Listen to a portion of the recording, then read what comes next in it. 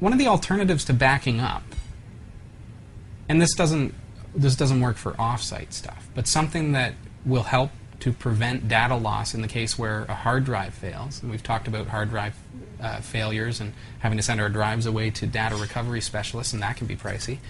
Um, one of the things that we can look at is redundant data storage.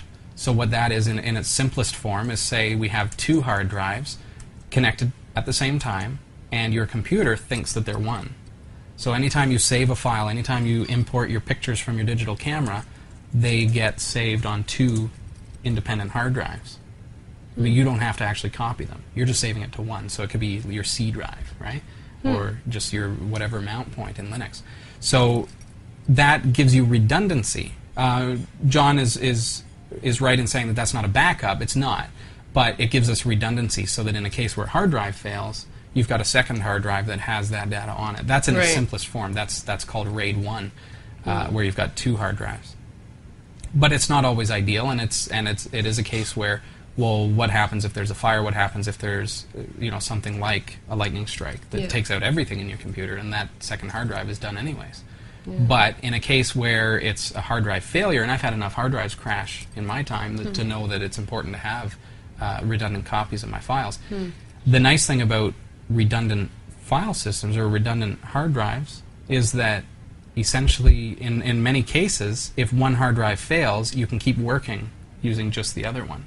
And then you just, you know, as quickly as possible, you get that old failed drive out and put in a new drive to replace it so that you get that redundancy again.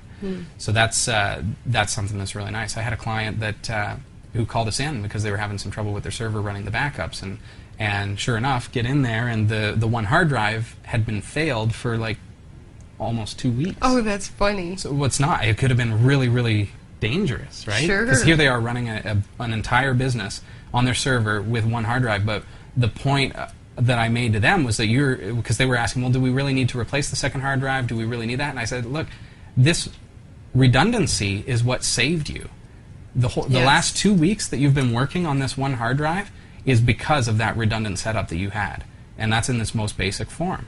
So the fact that you've been able to work for the past two weeks, the fact that you didn't lose any data, is because of that redundancy.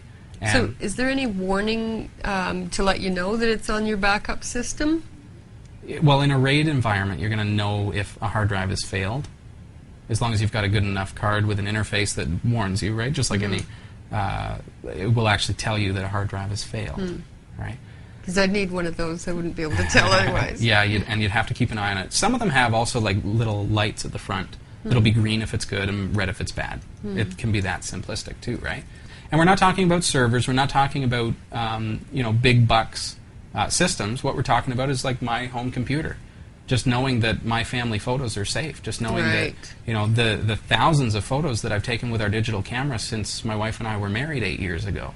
Well, what would ever happen if I lost all those? Right. That'd be devastating. And these days, you don't even really print them a lot. You you print you know the occasional photo, but for what it's worth, they to be honest, they're mostly just on my hard drive. RAID 5. Um, RAID 5 is cool. RAID 5, what that does is with, say, four hard drives, you've got striping and mirroring, so you've got, uh, and, and we don't need to get into all the different levels of RAID. RAID is, is a redundant array of inexpensive disks, and that will allow you to have multiple disks operating as one. So there's all different levels of what that means. Um, RAID 5, being striped and mirrored, uh, means that it's going to be a little bit faster than a RAID 1, quite substantially faster. It, it has four hard drives and the ability to fail out one, sometimes two, depending on how many drives you've got. And, um, and it gives you more space. Because where a RAID 1, you've got two one terabyte drives, they're mirrored, so you only get one terabyte. It doesn't matter that there's actually two terabytes of space. With a RAID 5, you're going to get more space. So that's an advantage to that. Disadvantage is that all the drives have to be the same. With any RAID, pretty much, the drives have to match. So if you if you start out with a whole bunch of 500 gigabyte drives, and then you decide, you know what, I want to put in one terabyte drives to make this thing bigger, then you've got to replace every single drive in the array, and that's that's expensive. That's where RAID doesn't hold to his name, hmm. really. Just backing up a little bit, I was talking about um, just the fact that the RAID arrays have to have same sized hard drives. That can be a big problem. And in my case, one of the reasons that I want to talk to you about this stuff is because I'm actually looking to improve the uh, data redundancy here at Category 5 because we're at the point now where we've done 96 episodes, 96 hours of video, Yeah. plus all the It's editing and, and all that stuff. Well, it becomes a remarkable amount of space. Mm-hmm. We're using a lot of space. Right. And so we're at the point now, we're very, very close to the point where we're going to start losing redundancy because we're out of space. Hmm. So my only option at this point is going to be to start moving things off of the RAID array and moving them onto independent drives because we're going to be hmm. out of space. We're not going to have room on that RAID.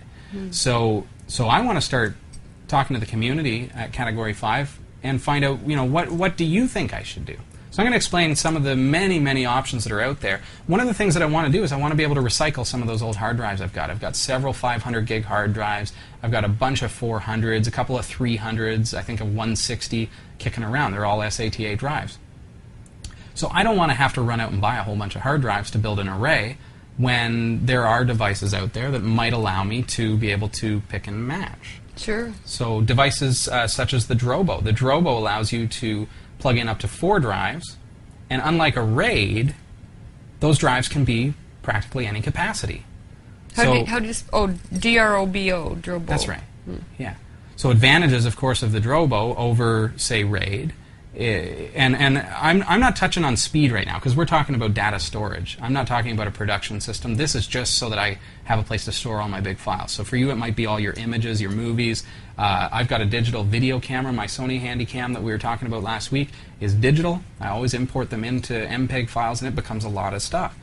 So maybe that's you. Maybe you need some redundant storage for that stuff. So we're not talking about the the speed and the uh, like how fast the array is going to be.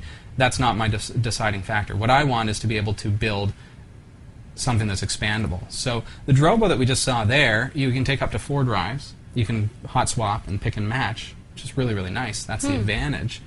Very nice. Mm-hmm, mm-hmm. So it doesn't have to be the same drives. You can I can grab some of those drives and just throw them in, and then when I want to put in more space, if I've got all four spaces used up, I can just fail out or remove the, the, the smallest hard drive in the array. So if I've got that 160 gig in there and two 400 gigs and a 500, I can just fail out the 160, remove it, and pop in a 1 terabyte. And all of a sudden it rebuilds itself, and then I've got more space in my array.